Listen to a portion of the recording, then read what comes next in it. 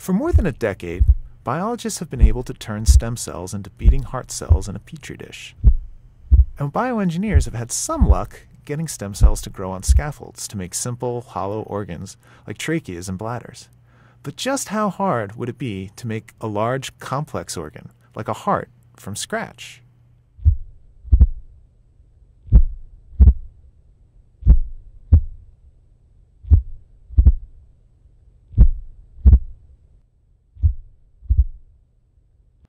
Getting beating clumps of cells to organize into a three dimensional heart requires scaffolding.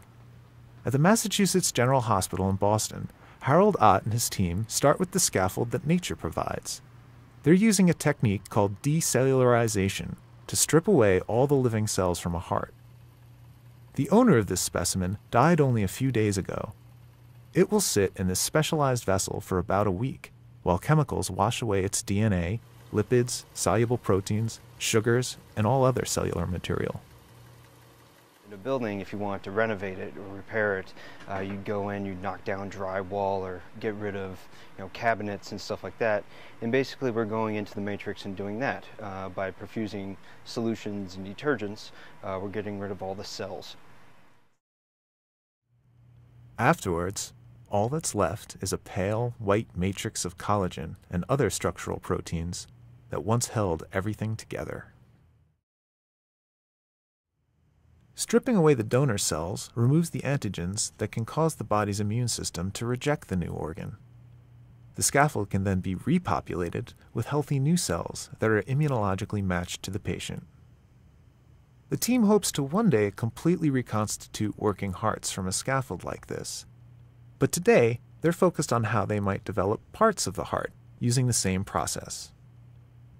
They've taken a valve and part of the aorta from a decellularized heart and sewn it onto a cadaveric heart. So, this part here is the aortic root, mm-hmm. including the aortic valve uh, and the ascending aorta. And this has been decellularized, so this is a decellularized graft sewn onto a cadaveric human heart.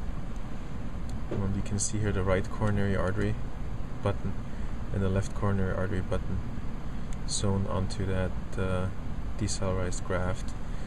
And the same thing here, this is the pulmonary artery and the right ventricular outflow tract here of the cadaveric heart. And this is the graft, the decellularized graft that has been sewn onto the heart. Amazing.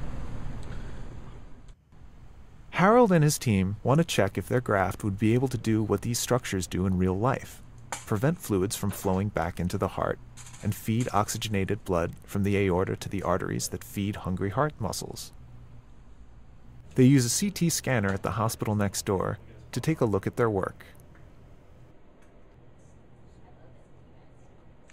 Harald pumps contrast fluid through the aorta to check for backflow and to see if the arteries that feed the heart muscle leak. The team knew an emergency department case could come through at any time, so they had to act quickly. Actually, scored a bit because you could do saline to contrast. Okay, good.